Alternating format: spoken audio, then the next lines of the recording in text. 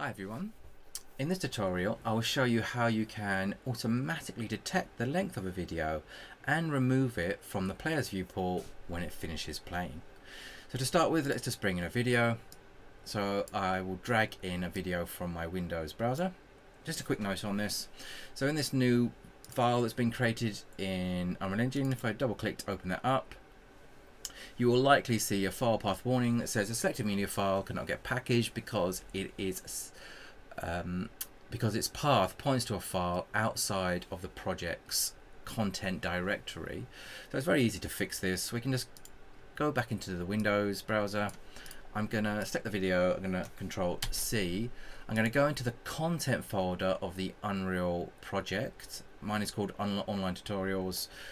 Uh, yours I imagine will be something different in the content folder, right click, new, create a new folder, call this movies, double click on that folder, control V to paste the video in. I'm just going to minimize that now. Now if I just hide this out of the way, you see we've got a folder called movies, which has been added to our content folder. I'm going to drag this media source file into the movies folder, just move it there. And finally, I'm just going to redirect the file path to where we've just pasted the video. Automatically it's actually loaded the correct um, file path. So I'm just going to click that video and click on open and now the warning has gone and that's fixed. I can just click on open here just to make sure it's working which it is so that's fine so I'm going to hit save and close that down so I'm going to go into the movies folder the first thing we need to do is create a media player. So I'm going to right click, go to media and media player and where it says video output media texture asset, tick that box, click OK. I'm going to call this MP for media player and just video. It's automatically created that media texture. We can right click on the media texture and go up to the top and create material. I'm not sure why it's got the create material twice. I think it could be a bug, but we can just select the top one and call this m underscore video or just m underscore video. So m obviously stands for material. Double click to open that up and all we need to do here is in the left hand side of the, the material panel in the details where it says surface just click on that and change it to user interface drag off of the texture sample connect that to the final color hit apply and save and that's all we should have to do. We can now close this down. So that's great. Now we've done that we can go into creating a widget. So let's right click in the folder go to user interface and widget blueprint. There's only one common option which we will use which is the user widget. Call this wb underscore video and double click to open up this widget. All we need to do here is top left hand side, search for a canvas panel and drag that in. We can hit compile. I'm just going to undock that or reduce the size of that widget because the easiest thing to do here is just to go back into our movies folder and just drag in the video and then just drag it out so it covers the entire canvas. What we can also do is in the details panel, let me just enlarge that so it covers the entire screen. But in the details panel, we can anchor this content to certain areas of the canvas. In this case, we just want to pin it to full screen or the full area of the canvas. Now in our hierarchy, we've got our canvas panel and we've got an image element, but in the image, slot we have used our material which is our video material. So we can hit compile and save. And now we just need to go into graph. So top right hand side click on graph drag off of event construct and search for open source. We're going to have to untick context sensitive to find it. And that should connect to the event construct. We need a target which is going to be the media player. To get the media player, if you click on the plus sign for um, variables, we're going to add a variable. So I'll call this media player. Where it says boolean, click on that drop down list and search for media player. And you want media player object reference and just drag that in and get media player and plug that into target. The other two execution nodes, the event pre-construct and event tick, we can delete. We don't need those. And where it says media source, just click on the drop down and select the video. And one final thing before we move on, make sure you've got the media player node selected. Press compile. And in the details, you've got a field for where you can select the media player. So click on none and then just add in the media player, which is what which is the one that we've just created. So now hit compile, save. We can actually close this widget down um, because we don't need to do anything further.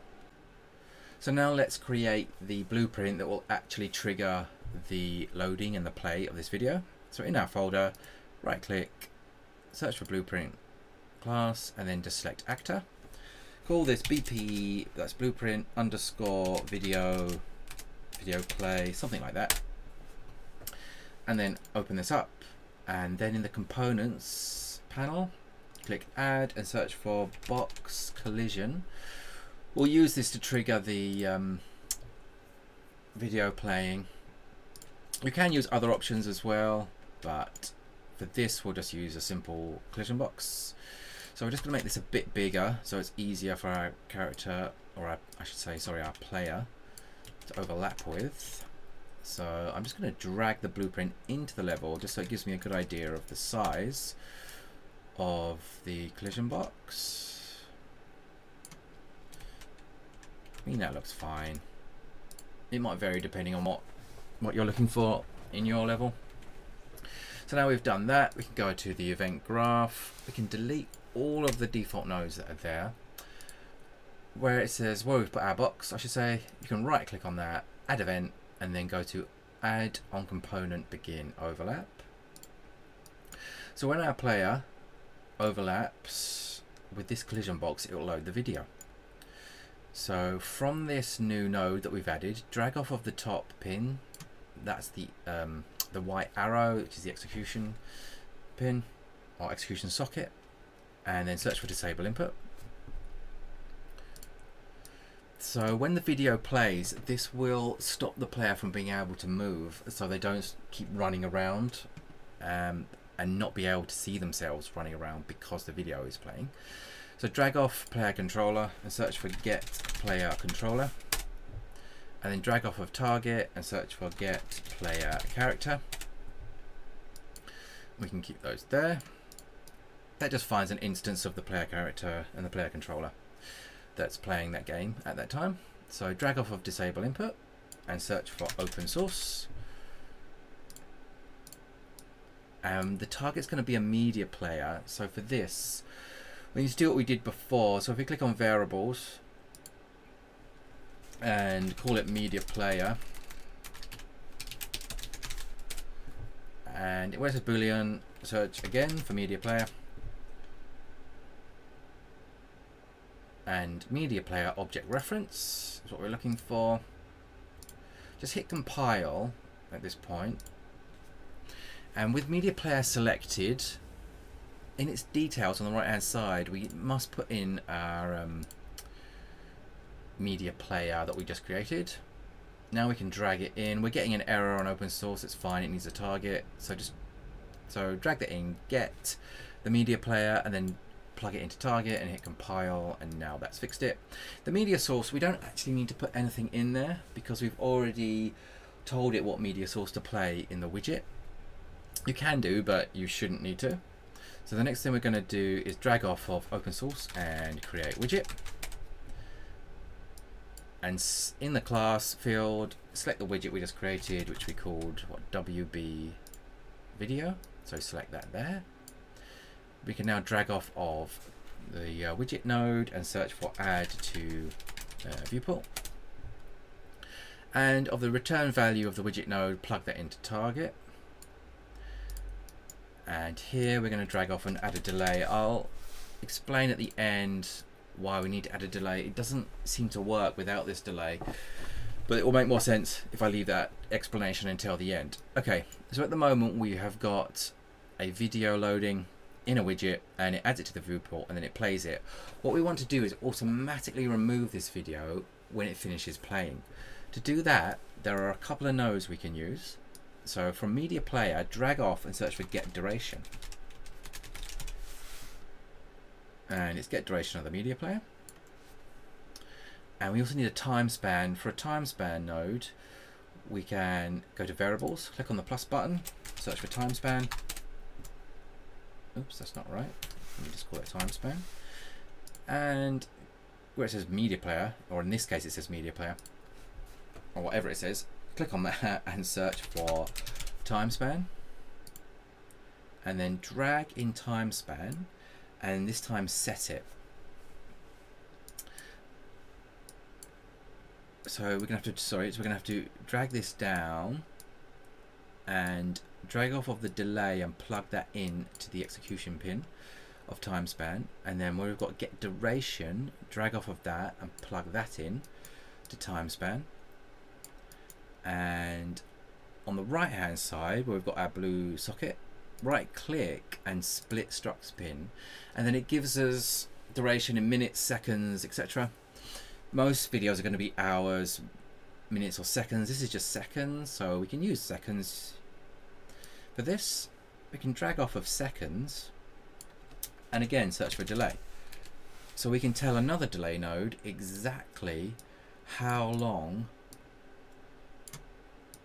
it needs to delay uh, our next function, which is going to be removing the widget from the viewport. So on completed from the delay node, drag off of that and search for remove from parent.